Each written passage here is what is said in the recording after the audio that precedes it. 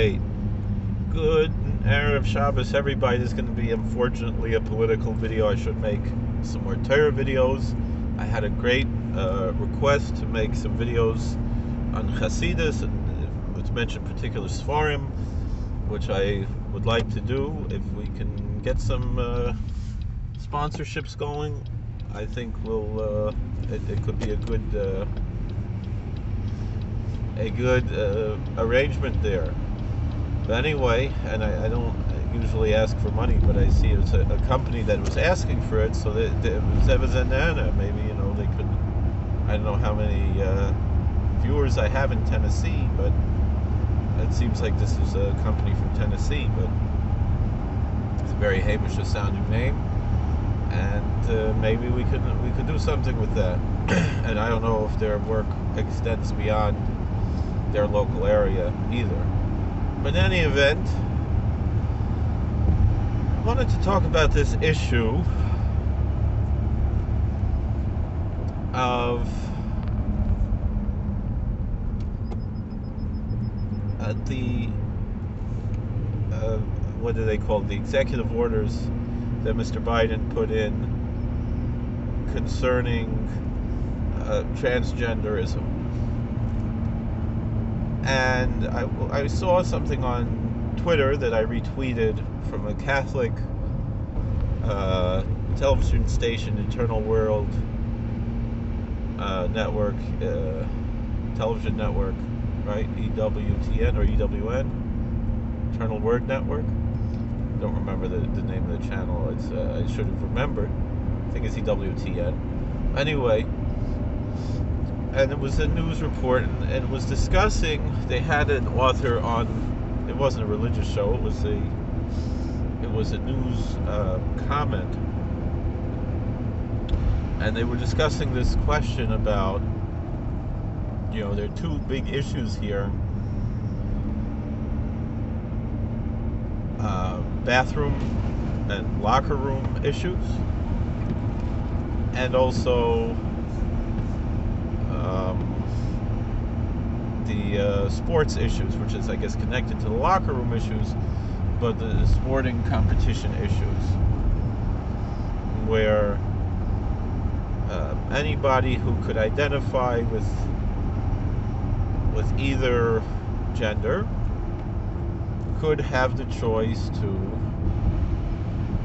uh, go with their identified genders bathrooms, locker rooms, and sporting teams that are segregated by gender.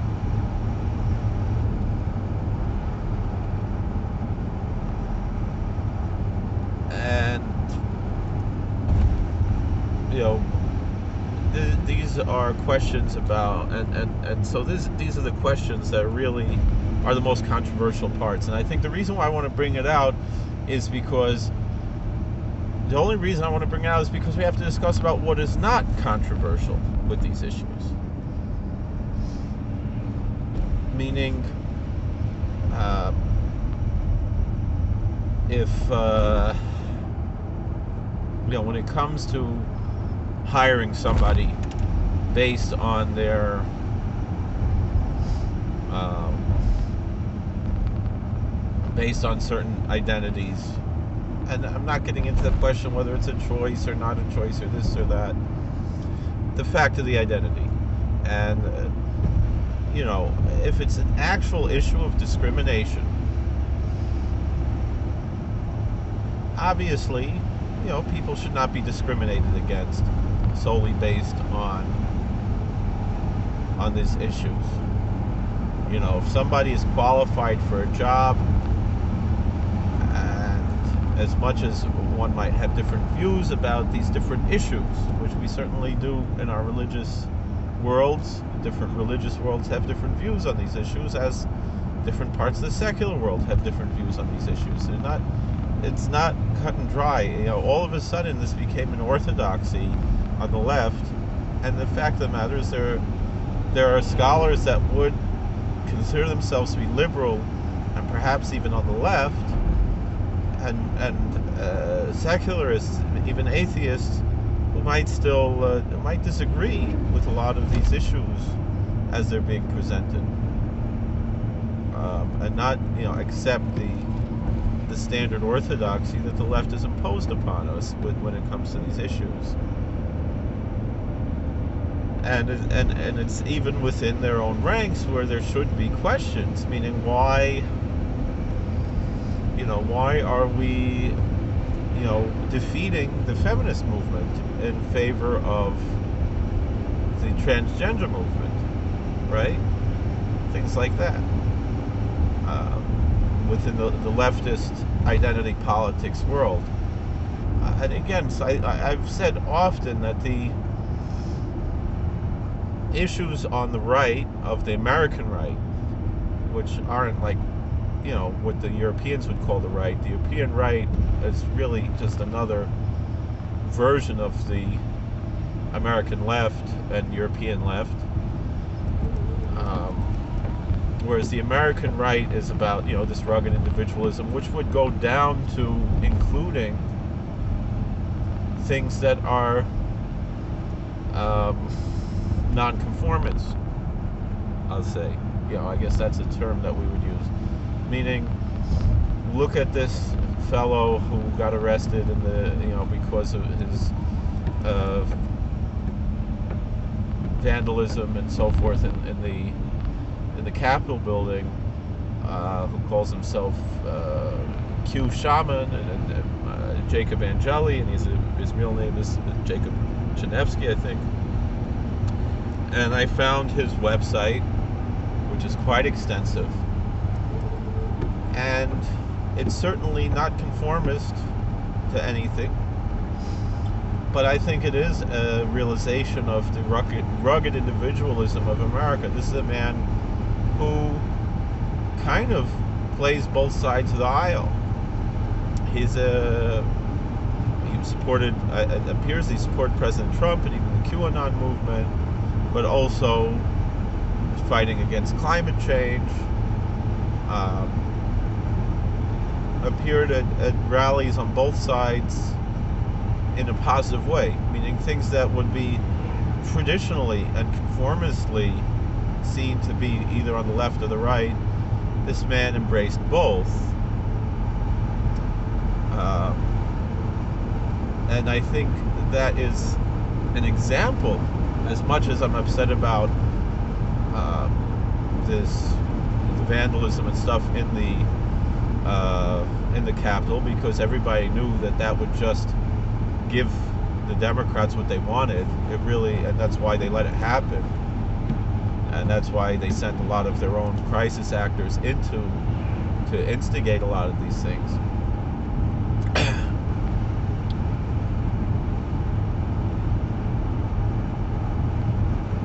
but that nonconformist aspect is, is very American conservative.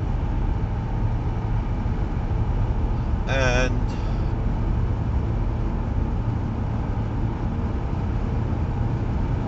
you know, this is where the questions, though, they come in. So we often say that, you know, your rights extend as far as the other person's nose, you know?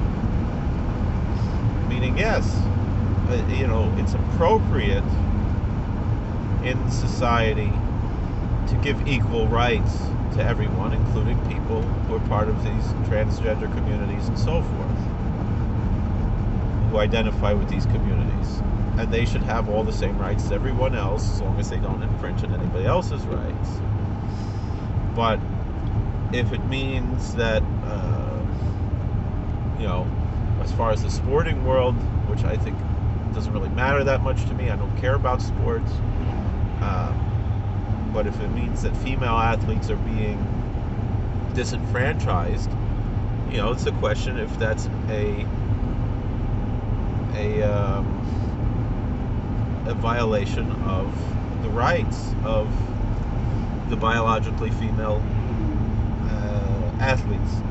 But then, you know, the bigger issue obviously is the um, you know the bathrooms and the and the locker rooms. So it's interesting because my wife generally says the bathrooms, all right, the, in Europe they have single gender bathrooms. Why do we need to have men's rooms and women's rooms? Obviously, there are obvious reasons. You know, the potential for victimization that exists. Um, so then, you know, I guess the the answer would be to have, uh, you know, single bathrooms. You know, what just with one toilet, and that's it, and not to have the the uh, congregant bathrooms that exist, you know, uh, in, in most public arenas. So, you know, that's definitely and, and you know the issue you know perhaps you know there's a, another possibility is to have you know maybe three different bathrooms. So again uh, people might see it as uh, you know uh, to have you know one bathroom that is unisex which some places have that as well especially family restrooms or you know they'll, they'll have one extra restroom that's just a single stall a single toilet and that's it uh, but not everybody has the funds to accomplish that. And so, again, th- these are the questions about both sides, uh, two sides that, you know, one is violating the rights of the other. And I understand the other side, why someone who presents themselves uh, and dresses female would be uncomfortable in the male bathroom as well. And I understand why someone who is female would be uncomfortable with a biological male in their bathroom. It works, both. you know, you have both sides. So these are part of the issues uh, that we have to deal with there. Um,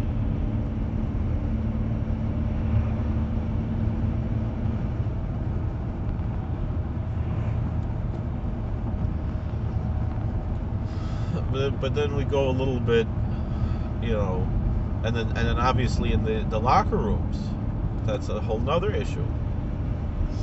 Uh, my understanding is that the, the culture of a female locker room is a lot more modest than the culture of a male locker room. Uh, but again, it's uh, obviously there's going to be issues there as well. So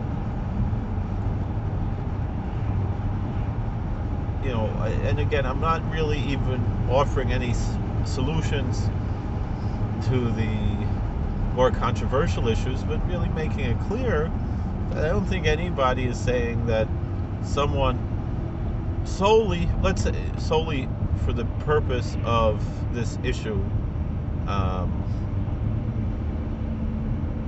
would say that people should be, rec- uh, you know, should be discriminated against uh, if they're doing a good job, and, and and also it's not a distraction to the job. You know, the question of uh, there was a uh, an issue about the about a funeral home, I believe, um, and that that could be an input that could impede on the actual job.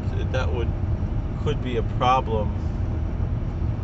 Um, and I can again hear both sides. You know, that the, the you know people feel that they're not being uh, served properly by the funeral home on this account. Uh, because it, again it's but as far as you know I, I know. At my work I know we have one individual um, who appears to be a, uh, someone who's biologically male and, and presents himself uh, uh, in the female gender um, and I believe this person is a nurse. And as long as this person able to do their job, which really to use the plural is not correct, but it's uh, I, I know that's what's come into the modern parlance. All right. I hear. I hear.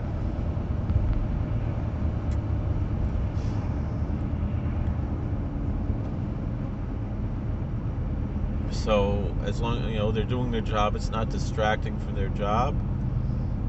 Uh, I don't, I, you know, I don't think anybody should discriminate based on that. Again, I'm not talking about issues in religious belief and so forth. That's, you know, certainly in our religion, uh, and it's what the Bible says. A man is not allowed to wear women's clothes, and a woman's not allowed to wear man's clothes. So yes, it's it's against our religion. All right, but a lot of things are against our religion. You know, I'm not going to say that the state should be imposing my religious views uh, on the uh, uh, in the in the secular realm. You know, although I do believe that uh, religious institutions and so forth should have the right to have their own rules. You know, these are the places where you know you have conflicting rights and and that's where you have to find the balance and but where there's no conflict then there's really no issue you know again your rights extend to the next person's nose you know. And you know to to demand that every store and every place you know install let's say another bathroom or make all the bathrooms uh, unisex and this or that or whatever it is it's it also it infringes on other people's rights as well. Because um, not everyone can afford it there's a lot of issues there. Although i understand that that's not you know that the fact they can't afford it it's not generally viewed as uh, as a, a good enough excuse but you know there's no expectation for example that I go into any restaurant and demand that they make me a kosher meal, you know, and and and, and that I'm saying and, and that I would be saying that if you don't give me a kosher meal, you're discriminating against me. No, that's ridiculous. In the same way as the other the other way, for for someone to step into the kosher restaurant and demand a, a ham sandwich, eh, you can't do that, and it's not discriminating. And and that's been my argument with these cases with the with the wedding cakes and stuff like that. That you know, to go into a Christian bakery and demand a wedding cake that has uh, two groom toppers on it. Um, it's the equivalent of going into a kosher restaurant and demanding, um, you know, a, a ham sandwich. But to but on the other hand, if the Christian bakery says we don't serve your kind around here, well, that's discrimination. So, you know, for them to say, I'm happy to make a to sell you this cake that I have, and if you want to go buy, or, or you know, another uh, groom topper and take off the bride topper and put on the groom, or whatever that is, you want to do that and take my cake that I made and, and serve it there, well, that's none of my business. But you can't make me design the cake, etc. You know. And, and the same thing if, if uh, you know a kosher restaurant is saying oh no you can't eat here because you're not Jewish or, or a halal restaurant says you can't eat here because you're not Muslim yeah that would be discriminatory but it's not discriminatory to say yeah you can eat here but we're not serving you ham we're not serving you a cheeseburger so you know these are where these things have to be viewed. And so too, yes, in our religion, we're not allowed to not allowed to mutilate the body. Not uh, you know uh, uh, you know if it's not medically necessary and it's not religiously mandated. Um, you know, just you're not allowed, we're not allowed to get tattoos. You're not you know things like that. and that's our religion. Am I going to say tattoos should be uh, against the law? No. You know, uh, that's not my belief. You know, so so for me to, you know, say that there should be some kind of laws against transgenderism, it would be the same as me saying that that tattoo parlors should be shut down. And incidentally, according to most opinions, you know, the prohibition of, of uh, uh, men and women wearing uh, different the other genders' clothing would seem to not be under the, the rubric of the seven laws of Noah, although some uh, some commentators would say that it is that it is a a law that applies um, to the general public as well, either under the rubric of of sexual immorality or of idolatry. Um, so it's uh, you know it, it's a question certainly, but it's not generally understood that way. Um,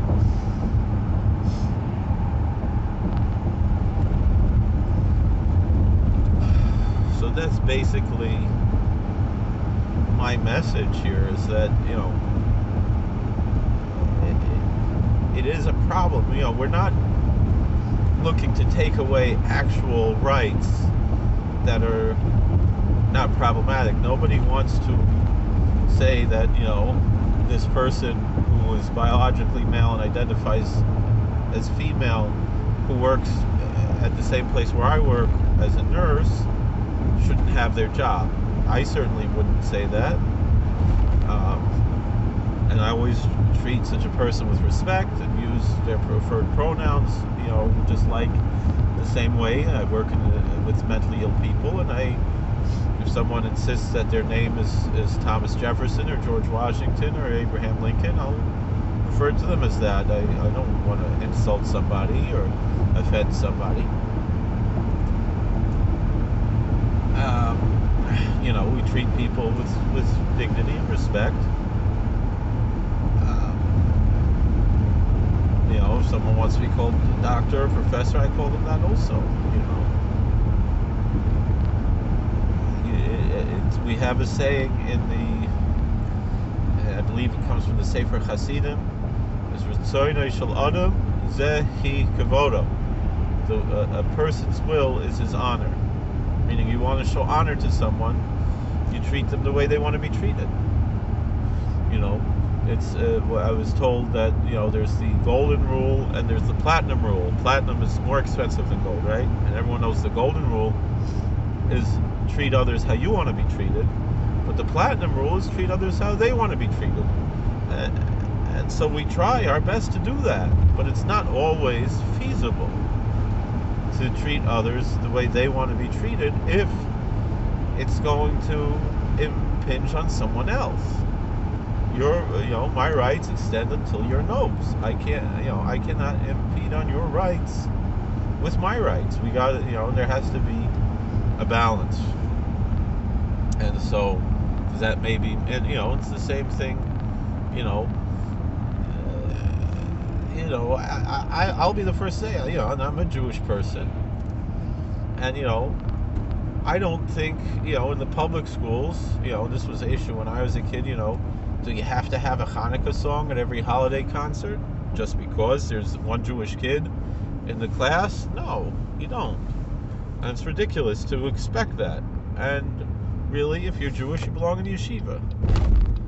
Uh, but the thing is, I don't believe in public schooling at all anyway, and I think that uh, the public school system is extremely corrupt and evil, and it's communism, and I and I oppose it. Um, you know, all these things people say about uh, religious institutions and, and abuse, and it's much much worse in the public schools. You know, and and we're being forced to pay for it. So it's uh you know, and, and, and generally a lot of these claims uh, are just anti-religious bigots just trying to uh, to make religion look bad. So, uh, you know, that's that's the situation. Thank you for watching. God bless. Please like, share, and subscribe, comment. We'll see you later.